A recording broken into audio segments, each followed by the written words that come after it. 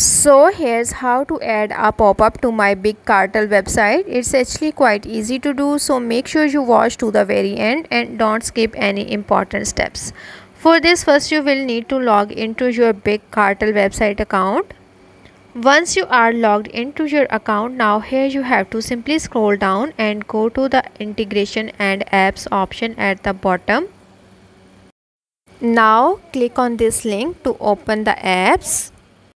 Moving to the next step is you have to click on the marketing and promotion apps section from this page. It will redirect you to this page where you will be able to view these apps. Here you have to click on the Poptin app. After that at this page you have to simply scroll down and go to the get started option. You can read this blog to set up the app integration.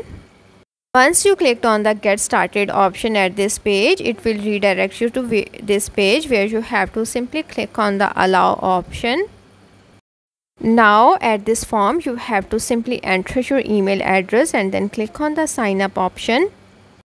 Then here you have to fill in your form details and click on the let's get started button after that from here you have to select any of your plan. For now i'm clicking on the free plan. Then at this page you have to simply tell the purpose of your pop-up. Here i'm gonna select the lead generation option.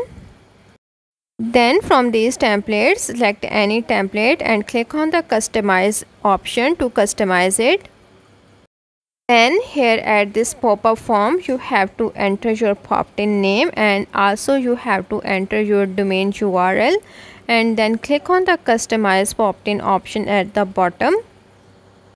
Now at this page you have to simply edit your Poptin now you can customize your Poptin here. You can change the color of your text add any background images or you can also add after that, click on the next option at the top right corner. After customizing your Poptin, you have to publish it.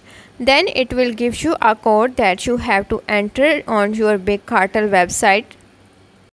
So that's how to add pop-up on your Big Cartel website.